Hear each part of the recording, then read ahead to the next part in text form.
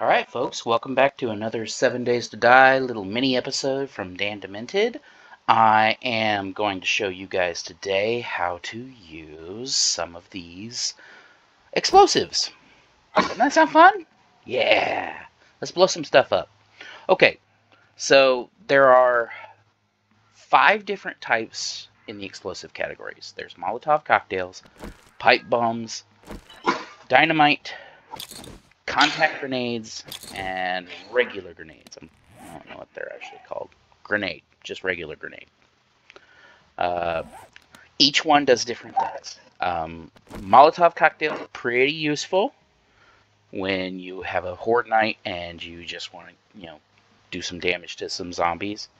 Uh, we are probably going to call a screamer in, which is a little like uh, Samara looking zombie that when they see you, they will scream, which summons other zombies to come and attack you. Um, I don't usually use the explosives, so I don't always remember right off the bat how to use them. So let's see if we can do this together. All right. So to throw, you have to hold down the left click button. All right, and you charge it up and then throw breaks it open, and you can throw them closer or far away. And any zombies that get in that are going to take some fire damage. Now, if you look on here, it says they'll take 250 fire damage over 16 seconds. It'll do 5 block damage and 3 explosive. In other words, it'll do 3 radius out and 5 block damage. So you are still going to be doing damage to blocks, I'm not sure if it does damage to any blocks within your own uh, like area of effect. Like you put down your land claim block and it basically covers that much space. Um, so I don't know if it does damage to the things there. All right, now to light the pipe bomb here, you have to click right click, I'm pretty sure. And then you hold and throw. And they blow up.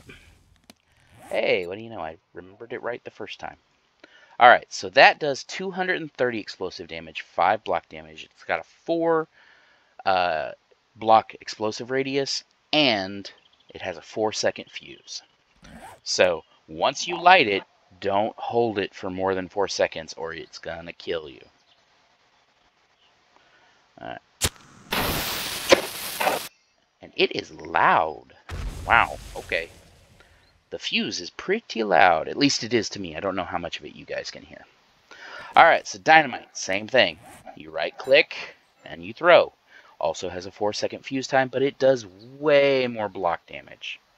Alright, so let's see if we can hit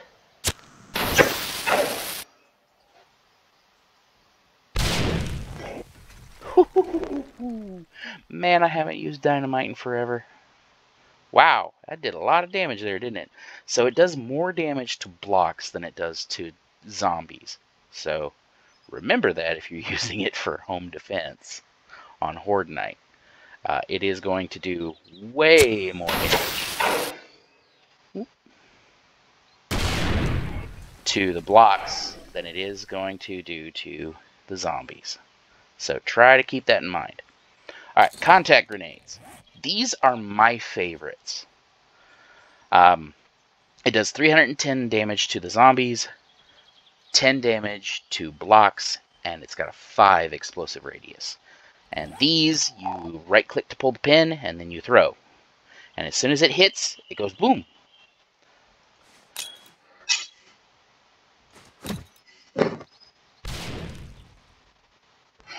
And yeah, you can throw them pretty far.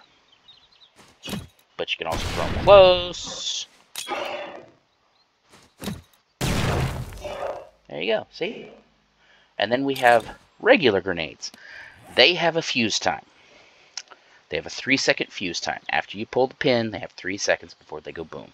They do the exact same damage as the contact grenade. It's just if you don't throw them before the three seconds is up, they go boom in your hand. And then boom. So yeah, you got to keep that in mind. All right, so the other thing I want to show you guys today, aside from the uh, explosive stuffs, these. These are candies. You can find them in vending machines. Sometimes you'll loot them in trash and some other things. Each one does a different thing. You have eye candy. This is the one that I think is one of the coolest. It adds plus 5 to your loot bonus, plus 10% to your loot bonus chance, 5 minute duration, and it counts as food.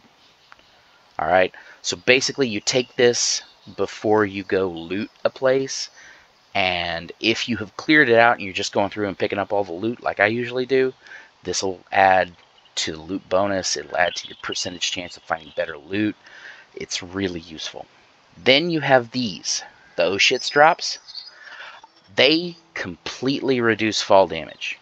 Uh, after you go up like five or six uh, blocks high, you start running the risk of doing like actual injuries to your legs and doing stuff like that. If you take these, it does not matter how far you fall, you take zero damage. Uh, Atom Junkies adds to your explosive damage. If you did that when you were throwing these, it would make the damage more and you would do a whole lot more damage to the zombies as you throw them. Covert Cats uh, adds 50% to any sneak damage that you do while you're under the effects of it. They last 5 minutes. So if you're trying to go for a stealth build, these are the ones that you want to try to keep on you. Hackers. Uh, whenever you are going around knocking out trees, knocking out uh, cars, uh, pulling apart sinks, pulling apart all kinds of stuff like that, you take these, you get 20% more stuff over a course of 10 minutes. This will increase your maximum health. It's called a health bar. Uh, increases your armor crit resistance, your natural crit healing.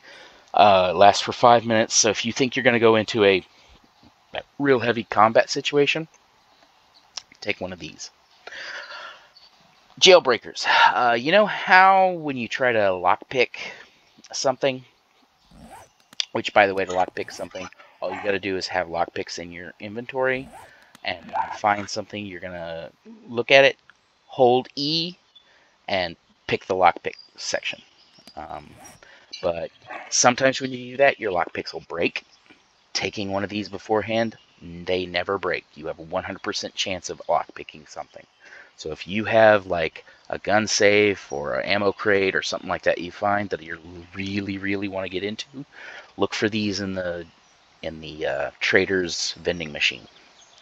Nerd Tats. It creates an area of effect shock for 1.2 meters anytime you do an attack damage. Or is it anytime they hit you? It's either anytime a zombie hits you or anytime you hit them. I don't know. I've never actually used these. Uh, Rockbusters does the same thing for salvage. 20% extra when you're mining uh, ores or rocks or stone or anything else like that. Lasts for 10 minutes. Skull Crushers. 50% extra melee damage for 5 minutes. So you take these, you take a health bar, and you are a melee combat machine.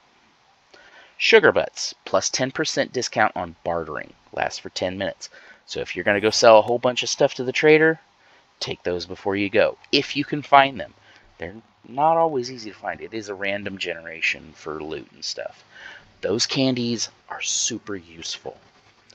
Don't pass them up. If you have the money and you see them in the vending machine, get them. All of them are useful. I say, as I have also admitted, that I have never used the nerd ones, the nerd tats that do the shock damage. I just never have. Uh, but if they fit your style of play, go for it.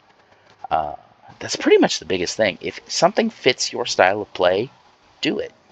It'll turn out better for you in the long run. All right, well, I went to the gym today. I'm pretty tired. I'm going to go get some sleep. Uh, I do work graveyard shift, so it's like, you know, 9 in the morning here, which is my bedtime. Uh, I hope you all have a great day, and I will catch you later.